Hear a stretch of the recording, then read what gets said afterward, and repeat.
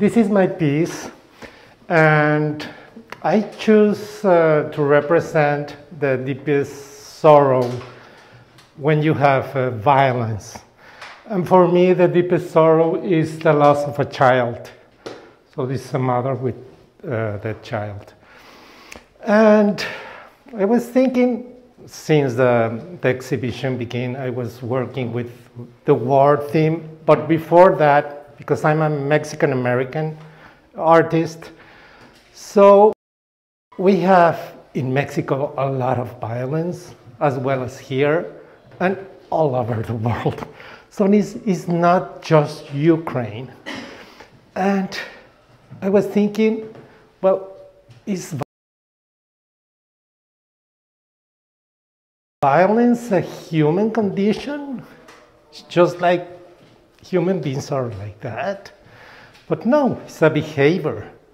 And a behavior can be modified and with all the topics that I depict from my art making that is uh, related to social issues and environmental issues, I was always thinking about what is the solution, and I'm thinking that the solution is education.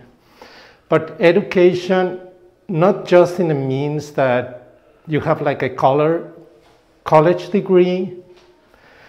So it's more like the importance of sensitive and human education, the exposure to other cultures, to other ways of thinking, like literature, so you can know better your other equal and be sensitive and respectful.